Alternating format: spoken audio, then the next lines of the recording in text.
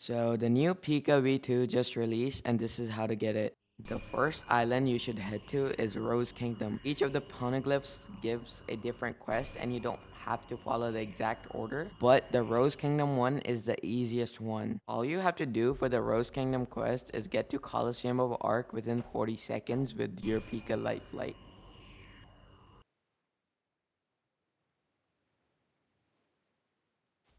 That's the first poneglyph complete. Now you want to head over to Thriller Bark.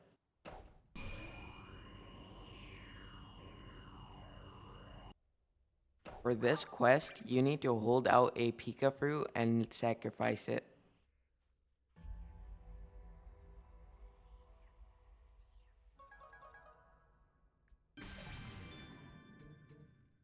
Now you're gonna wanna head to Desert Kingdom and interact with the poneglyph there.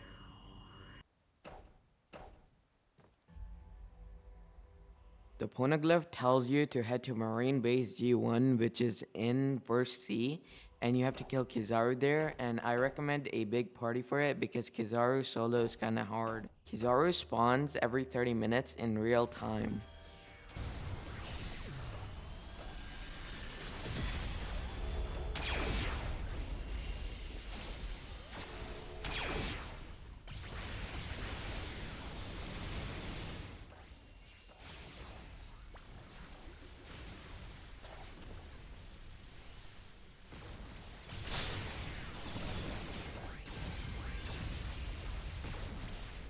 Now head back to second Sea to the Spirit Island where you get Haki V2.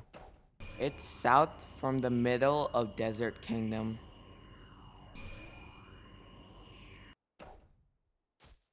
Now the poneglyph tells you to kill Mihawk.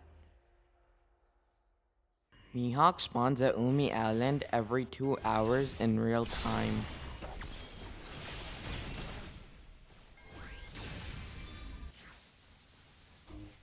For your final poneglyph, head to Colosseum of Arc and talk to the poneglyph there.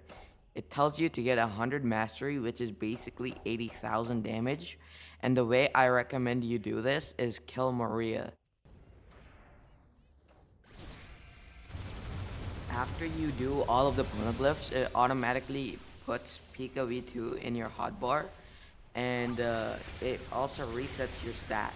And if you want to switch back to Pika V1 for some reason, you can talk to a poneglyph and decide if you want to switch or not. One more thing before I go, I'm making my own crew named Dorayaki Delinquents.